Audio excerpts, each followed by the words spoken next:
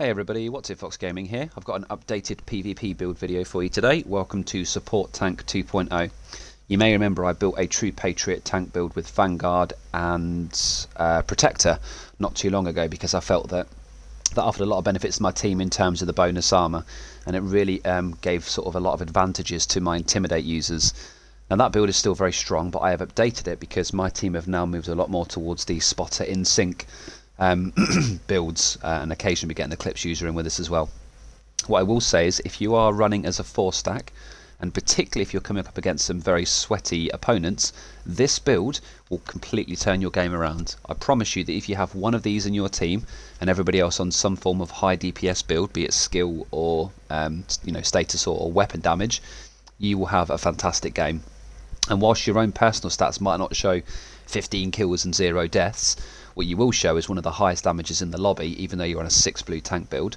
But more importantly, there is so much synergy with this build that you are offering to your team that it's not just for you, and it's not just there to provide tardigrade bonus armor. There's a multitude of ways that you're helping your teammates out. So the reason I came up with the first version of this build and subsequently updated it to the version you see before you today is because every time I see a team that has a tardigrade tank, they usually do very well However, the guy running Tardigrade typically has a, a, relatively subpar build, in my personal opinion. They'll just be running six blues, maybe like a couple of Badger Tough, um, some Gila, and maybe three Golans. They just like to maximise the, you know, you keep getting the 5% armour with those pieces to get their armour to like 2.1 million. So all they're trying to do is get their armour as high as possible, maybe throw a bit of hazard or a bit of uh, armour regen in there. And their main goal is to give their team the Tardigrade proc. I didn't want to be the tank that just does that. I don't want to be the guy that just is there to give everybody a little bit of extra life every 45 seconds. What I want to do is offer a load of other benefits. And I promise you, if you update, if you have a tank build or you, one of your buddies plays one, and you get them to update it to this, your yeah, everybody's damage in the lobby, everybody's damage will increase, not just the tanks. So let's explain some of the changes and some of the synergy with this build. If you don't know um, Tardigrade, uh, it drops from True Sons missions, and it gives us in PvP. If we switch that there, whenever you are you are excuse me, whenever your or any ally armor breaks, they gain 40% of your armor as bonus armor for 10 seconds, and that is a cooldown of 45 seconds per ally. So instead of them dying, they instead come back with 40% of 1.8 million, um, which is quite strong, particularly if they are running Intimidate, because bonus armor is what works with Intimidate, and it can really turn their 1v1 around. But even if they're not running that, it means they can get out of jail free. Essentially, it's a nice little uh, you know way to get out of a sticky situation. Well, we are also running as four-piece True Patriot. Now, I believe, and again, this is my own opinion, that True Patriot is the single best tank set that you can run in the game at the moment. Foundry to me is dead. All it does is give you a stronger shield, a bit of armor regen, and 10% armor. What do all those things say to me? That's a selfish tank play. All of those things only buff the tank player themselves. And a good tank will position well and try and um, open up opportunities for their team. They'll try and take some of the fire whilst providing um, some utility to their team. And that's where True Patriot absolutely shines. Now the 2 and 3 piece aren't relevant here, at least not for this part. They are relevant for our own personal damage, and I will come into that in a second. Um, you may already notice I'm running some interesting weapon choices here with some interesting talents, but that all makes sense in a second, I promise you. Um, what we're focusing on here is the four piece, red, white and blue. Every two seconds enemies you shoot receive a stacking debuff of red, white and blue. Red amplifies the damage that an enemy takes by 8%, and because that's amplified that means it's multiplicative damage, so it's calculated at the end of the equation, not off the base damage. That means if your teammates are already being buffed by other things, they've got buffs on their weapons, buffs on their gear, this 8% is on top of all of that, so it's just a, an awesome, awesome damage buff or damage resistance debuff to your enemy, should I say. White, um, shooting an enemy repairs the attacking agent's armor by 2% once every second. This has been fixed. It now works with all of your team. So not only are your guys doing um, more damage to the person that you're shooting into, but they're actually healing off of them as well. And finally, blue decreases the enemy's damage dealt by 8%. So on top of all of that, the enemy that is shooting back into them, or usually into me, because I'm the tank in the front lines, will be dealing less damage. So it is very important when playing a tank build that your teammates understand that they need to be shooting um, what I call the painted guys. I say painted as in like I've painted them with a full flag. Um, but as long as they're shooting into flagged enemies, that's extremely important because otherwise your job as a frontline tank will be wasted and you'll just be relegated back to one of those tardigrade tanks that I was talking about earlier where you just got loads of armour purely for the tardigrade proc. you are running this as a four stack, which is probably the best place to run it, I wouldn't recommend running this outside of a group. Um, it is very important that your teammates shoot into who you are shooting into because you are offering so many debuffs and obviously as a 1v1 capabilities as somebody with 6 blues will always be a little bit lower than a high damage build. So that's why True Patriot is fantastic. I have gotten many kills with this full flag. In fact, I think it was yesterday or the day before, we killed three agents by just shooting one guy. I was able to fully flag up one of the tanks, and my teammates finished him off with their LMG build, and he was able to completely kill two other players because enemies under full flag um, create an explosion that's the, uh, equal to their entire health. I don't know if it's different for PvP. No, I guess not. Um, so if you if you if it's a tanky guy that explodes and he's next to two squishy guys, they're all going to die, and it's hilarious. Um, and the good news is that gave me the kills as well, so that was pretty awesome. Not not that important with this build. It's more about the red, white, and blue. The other way that we are buffing our teammates' damage, we're already giving our teammates the 8% uh, multiplicative damage to enemies that we shoot. We are using Demolitionist, which gives 5% damage to targets out of cover. Now, most people in PvP will just use Firewall. Uh, occasionally, they might use Technician um, for the Spotter build, and sometimes Survivalist for an Eclipse build. Nobody really seems to use Demolitionist. What it offers you is your entire team, including yourself, that additional 5% do damage to targets out of cover, and that is also a multiplicative bonus. So, just by having this equipped, we are giving our team um, more damage, 5% more damage to be precise. There is a reason this is really good for your own playstyle as well, and I'll go through that in just a second. and then the final way that we are offering additional utility to our team is via opportunistic. Now, I decided to run with the Badger Tough backpack here because Opportunistic requires either a shotgun or a marksman rifle, and I don't want to use a marksman rifle in PvP, especially since they've been heavily nerfed. Enemies you hit with shotguns and marksman rifles amplifies the damage they take by 10% from all sources for 5 seconds. So this is once again a multiplicative damage. This is on top of all the damage buffs that your team already have. So we're, we're giving them 8% from True Patriot, 5% from Demolitionist, and 10% from uh, the opportunistic all at the same time. it's fantastic. There's so much utility here. What I've done here is spec this backpack into critical hit chance, and if you look across the board, every single piece is armor and critical hit chance. Now I appreciate you might not be quite as lucky as me with some of these rolls, but as long as you get these two things as high as possible, the armor is important for the tardigrade, and the critical hit chance is important for the next part of this build. So these are all the ways that we're buffing our team there. Now let's explain how we're buffing our own damage so you're not just a useless tank that can't actually kill anybody. Because this is a What's It Fox gaming build, as you all know I like to buff the strengths of a build whilst reducing its weaknesses. The weakness of a tank build is of course damage. Now we're obviously giving all of these buffs to our team and to ourselves. What I have decided to do is run with a strained weapon. And you may think that's really strange, I'm using two relatively sort of high rate of fire, low mag count weapons. What weapons you use doesn't make a difference, but you want to test this out yourself. Strained is a really good talent to buff your challenge, to buff, excuse me, to buff your damage even. What on earth was that? If you are running True Patriot, because if you look over here, the three-piece bonus gives us 30% magazine size. Strained, whoops, it gives us 10% additional critical hit damage for every 0.5 seconds we're firing, and this stacks up to 5 times, 50%. So obviously the more bullets in our mag, the longer we can stay in the max part of that. Let me demonstrate that now by shooting into this, uh, this angry pond. So if you look on the side of my gun there, you'll see it says 0, and that'll obviously go 0, 1, 2, 3, 4, and eventually 5 every 0.5 seconds. Um, of course, the 0, 5 is 50%. So let's see how long that we are in that 50%.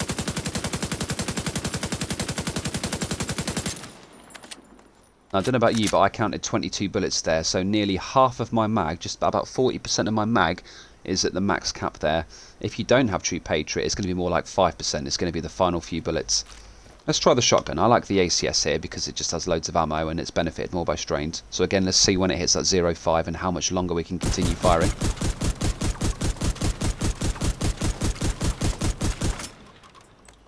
Quite a long time, right?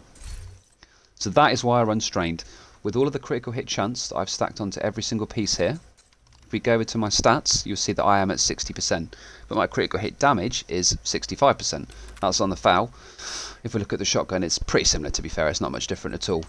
so all we're now doing on this critical hit damage is adding an additional 50% on top of that, or working our way up to it, and then maintaining there. So it's a great way to buff your own damage. Uh, now there are other choices. You could run things like Optimist here, but I promise you, if you're unstrained, as a tank, because you're doing less damage, you're going to be firing more often, and therefore building up your damage quicker. And it does catch people off guard. So try it out. It's really strong. Another advantage of Demolitionist is if somebody breaks your armor, whatever weapon is in your hand at the time, instantly refills its own mag and without interrupted fire. So all of a sudden you could have an additional 50 bullets in your FAL, whatever weapon you choose, um, to continue firing at that max 50%. Um, what I tend to do at that stage is I pop out my shield, and the good news for strained is you can have a little bit of an interruption when you pop out your shield and you don't actually lose the buff. I will demonstrate that now. Watch the numbers at the sides. Oh, no, that's actually not true. Okay, I swear I used to be able to do that. They must have patched that. Okay, entirely, entirely ignore that previous statement. I, I think you can interrupt your fire slightly. Oh, with very... Okay, yeah, you can, but with very little... Okay, that's that's what I was thinking of. So you can let go of the trigger for very small periods of time. Yeah, okay, that's fine. So that's what I was thinking of there. Okay, so ignore that with the shield. The shield you still want to run because that does give you the extra level of tankiness, but if you're in a situation where you're running strained, you've got your shield up and somebody breaks your armour, it instantly refills your weapon, which allows you to do more damage. So that's one other reason why Demolitionist is strong. EMP is important because as a tank you're going to be in the front lines, it's your job to break down skills, but honestly you can run whatever secondary skill here you want. Pulse is also really popular to help give your teammates that extra information. Um, you know, it doesn't really make a difference here. You could even potentially switch just to have the True Patriot backpack to buff it by 12% damage from 8% and then run a Night Watcher to pulse more, but I wouldn't recommend that. I used to run a similar build and I promise you that running opportunistic with a, an ACS with strained is the best way to buff not only your own damage but your team's damage as well. So I hope that's explained all of the sort of benefits to not only your team but your own gameplay. We have a lot of incoming, or sorry, outgoing damage for ourselves um, you know, via the, the, well, first of all by using good weapons, so a FAL and, a, and an ACS 12. Um, but I've chosen those specifically because they work well with strained when they have the additional 30%. We've got all of the extra damage debuffs that we are applying to our opposition, so the True Patriot 8%, the um, uh, the Demolitionist 5% and the Opportunistic 10%, so they'll work really well as well. And on top of all of that, we've still got the Tardigrade to fall back on. So there are so many ways that we're offering that utility to our team. Now, I will tell you now, this doesn't work well in solo queue. Um, the whole point of this build is you need to be calling out to your team when an enemy is, I always call it fully painted, but when an enemy is fully flagged. So your teammates, they need to be shooting into that guy because you applying all of these debuffs only but to benefit yourself is not the point of this build. The point of it is team shoot, team shoot, team shoot. And in solo queue that just doesn't happen. So what I'm going to try and do here, instead of being frontline, is actually sit a little bit further back, pay attention to who my enemy is shooting into, and then, well, hopefully help them kill them. so this is the build. This is the very build that I bring out whenever we have sweaty games, whenever we're playing as a four stack, we come up against another four, and honestly, it completely turns the tide. It's just fantastic you know your teammates just all of a sudden hitting their crits and everything else so much harder and then if they do get in there in a bit of trouble having that big tardigrade proc from your 1.8 million armor tank it, it's just fantastic.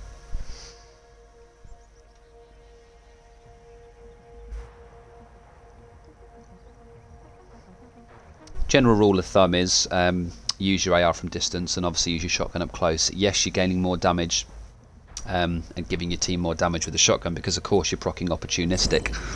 Um, but you know this this FAL hits hard. It's my favourite AR in the game.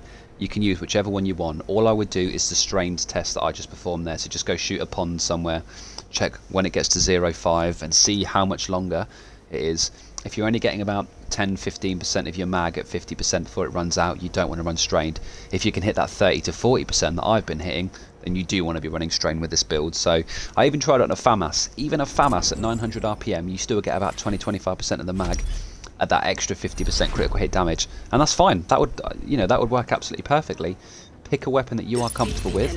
I would still recommend the ACS 12 because it spams like crazy.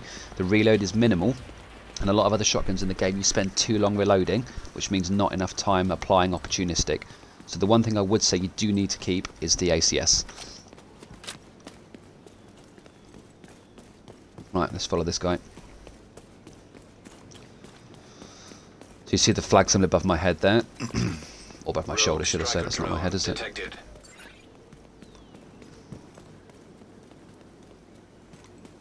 Okay, looks like this my boy's going for a big flank. I like his style.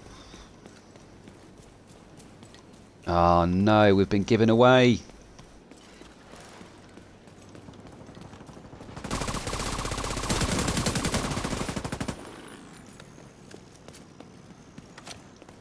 No one else there, good kill. So just by me being in this lobby, I'm giving this guy 5% extra damage to targets out of cover.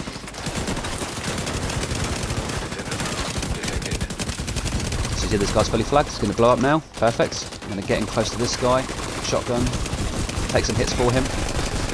So if I'm taking the hits, this guy isn't. Serious trauma detected. Ah, that's a shame we didn't have our teammates there. so that's the correct play style there. Um, my clan do what we call the swap in, swap out method, which is if somebody's say on this corner here firing at one of my DPS guys and they take a bit of hits, I'll call for the swap out and I will swap in his place because you know, if you're a guy and you're shooting somebody on a corner and that guy is weak, you're probably going to push him. What you don't expect to see all of a sudden is a full health other player that's taking his exact space when you yourself are probably taking some damage. Um, so, you know, that's a really effective way to play tank is you can let your team take the front line, but definitely you want to be swapping in and swapping out. Oh no! That's a bad day to be those guys.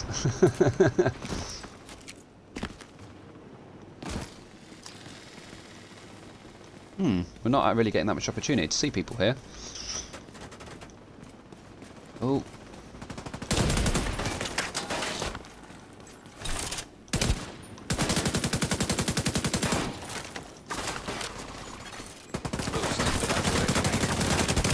Can I get some shots in him?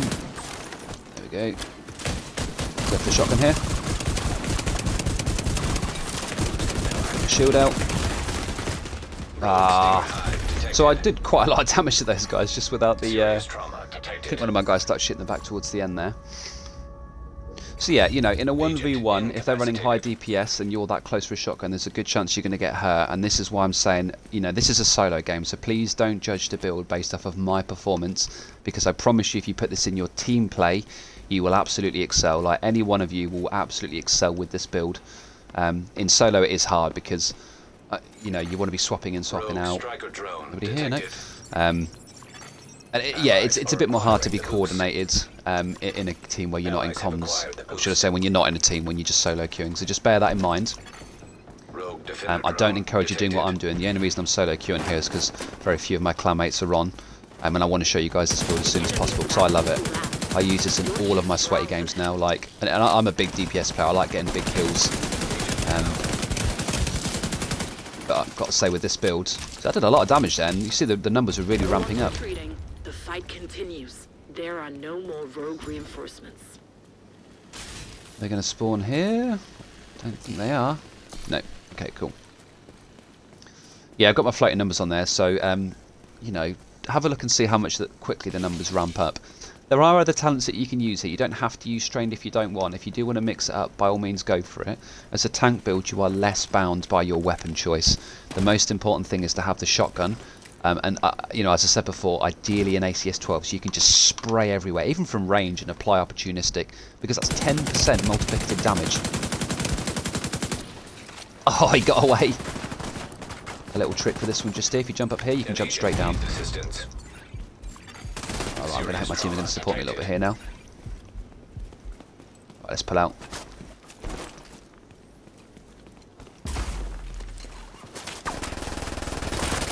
Swap with me, dude. Swap with me.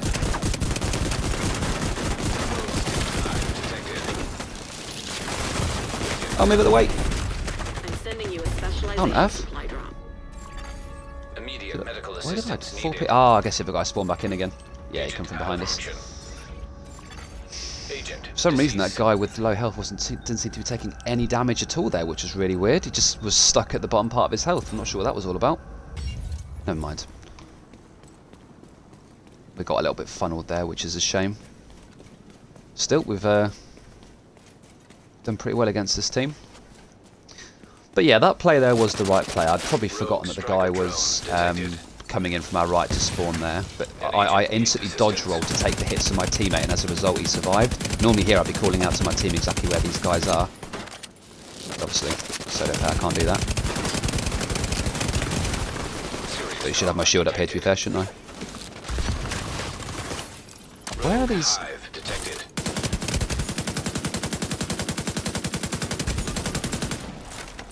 There we go. So you can see the damage numbers really ramping up there.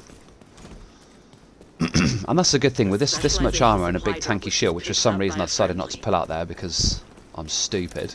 Um, you can tank so much damage for your team.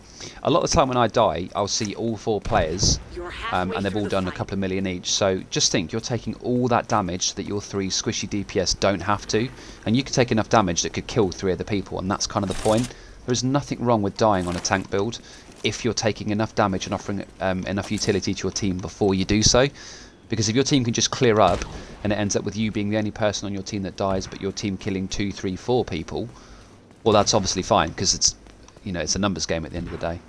Oh no, I guess we're doing that game, are we? Are they in there? It's one player.